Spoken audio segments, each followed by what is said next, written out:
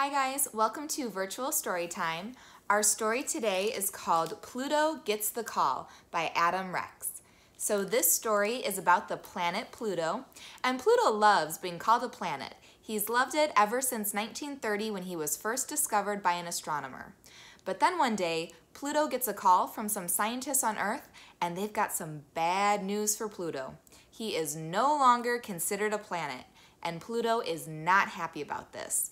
So he decides to take a journey through the solar system to see if he can find out why he is no longer considered a planet. Pluto Gets the Call by Adam Rex. Ooh, someone's gonna call? Are they calling to invite me to a party? I love parties. Hi, hi. Hey, over here, behind the ice and all those other guys. It's me, Pluto, the ninth planet. It's great to see you. We don't get a lot of visitors out here in the Kuiper Belt. It's this huge ring around the sun that's full of frozen stuff. It's kind of my neighborhood. No big deal. So, not to brag, but I'm mostly made of nitrogen. Ooh, nitrogen! Swoon. I'm almost as big as Earth's moon. I'm really cold. And I have a big heart on my belly because I love being a planet. Hold on a second, that's my phone. You got Pluto. Oh, what a coincidence! I was just talking to someone from Earth. Uh, sorry, I should take this. Uh-huh, uh-huh. What? What do you mean I'm not a planet anymore? Why am I not a planet anymore? I, oh, okay. Thank you for calling. That was just some scientists from Earth. They say I'm not a planet anymore. No biggie. They asked if I'd like to be known as the solar system's largest ice dwarf. And I was like, how'd you like to be known as Earth's meanest scientist, huh? Huh? Okay, I really didn't say that. I'm sorry, you were probably hoping to hang out with a real planet. Let me show you around. Psst, Neptune, are you awake? Meh. This is Neptune. He's closer to the sun than me, but he's still so far away that it takes him 165 years to orbit all the way around. It only takes Earth one year. One year exactly. That's what a year is actually. Ah, a black hole. Don't get sucked in. Who are you talking to? No one, man. Go back to sleep. Neptune is pretty icy and gassy. I'm not being mean. He just is.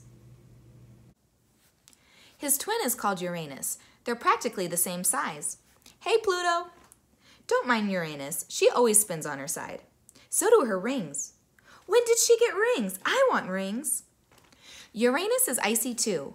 In fact, she and Neptune are called ice giants, which is which is why they want to call me an ice dwarf, I guess. What's up, Pluto?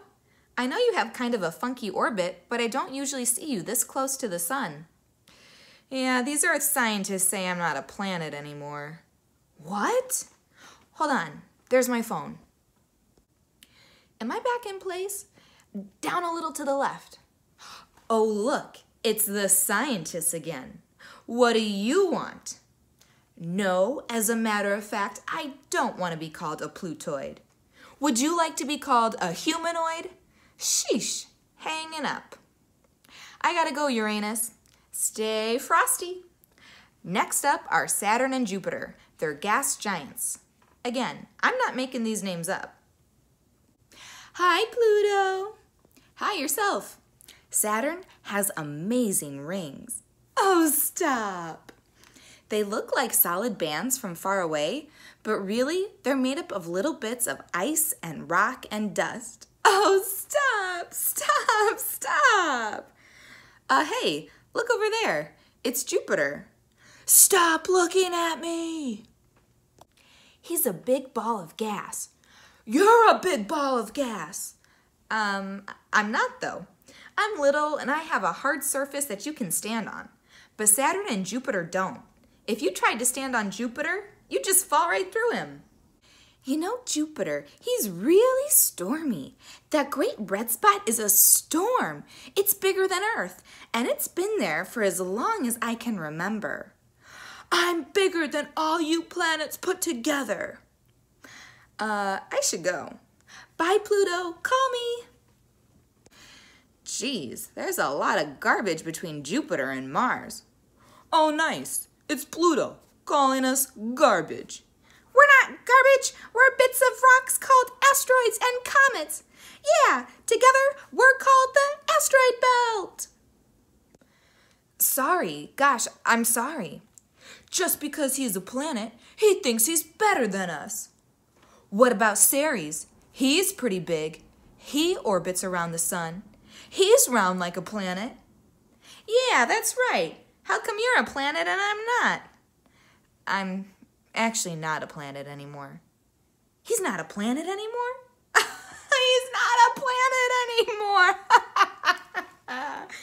hey, I don't have to take this. I'm out of here. Um, so here's Mars. She's smaller than Earth, and she has a lot of water ice. I don't see any water ice. It's under her surface. It's part ice, water, dust, and small rocks. That's exactly what I put in my smoothies. She's called the red planet because of all the rusty iron on her surface. Hi, Mars. I have robots on me. Yeah? Some of them just sit there. Some of them roll around. Robots! The humans sent them here. Ugh. No offense, but I don't want to talk about the humans right now. So next is Earth. It's where mean scientists live. Moving on. Oh, come on. Look, there's Earth's moon. Guess who has the most moons? Um, Mars, no, Neptune. Wait, Uranus, no, Mercury. Ooh, ooh, it's Venus. I mean Saturn. It's Saturn, isn't it? Jupiter. Oh, I was gonna say that. Wow, Pluto has traveled over 3.5 billion miles. Venus and Mercury are really hot. You're not so bad yourself either. Venus is the hottest planet, and she's hidden behind yellow acid clouds. You'd hide your face too if it was covered in volcanoes. Mercury's hot too, but he's also cold. Cold as ice. If you were standing on Mercury in the sun, you'd burn up. But if you stood in the shade, you'd freeze. Hey, Pluto, are you doing okay? Oh, I'm just kind of down because I'm not a planet anymore. Not a planet, but you're round. Yeah. You orbit the sun. You don't orbit another planet like a moon does. Yeah, but I live in a crowded neighborhood. I guess a real planet's supposed to sweep all the ice and rocks out of the way. Hey, why don't you go talk to the boss about this? Yeah, man, go ask the sun's advice. She's pretty bright. Maybe I will. Did you get what I said? Pretty bright because she's the sun? Yeah, no, I got it. Pluto, you're far from home.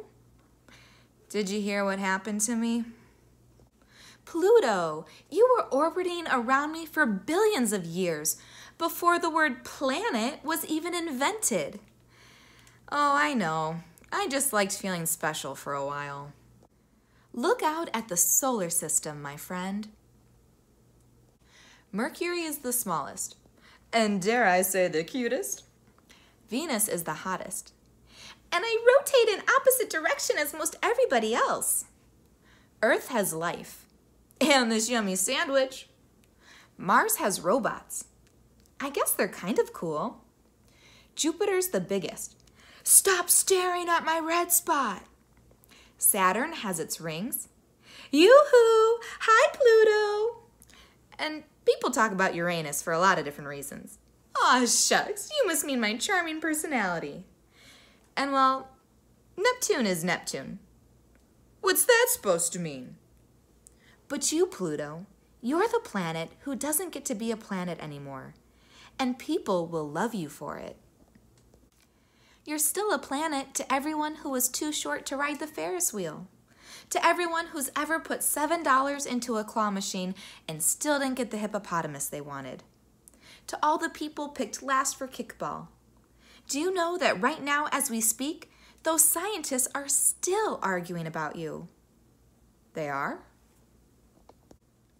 You used to be the coldest, littlest planet, but now you have a big, warm place in our hearts. There, there, don't cry, Jupiter. I'm not crying, I have meteor dust in my eyes. Thanks, sun. Don't mention it. I'd hug you, but you'd burn up instantly. It's cool. Get it? Cool. They get it. For your writing today, I want you to write a letter from the viewpoint of Pluto. So you are going to pretend to be the planet Pluto and pretend that you just received that call from the scientists on Earth saying that you are no longer a planet. I want you to write a letter back to those scientists and tell them how do you feel about this news? Are you happy? Are you excited? Do you feel like you're getting kicked out of the club? Are you confused? Go ahead and write a letter as if you were Pluto. All right, I'll see you guys next time. Bye-bye.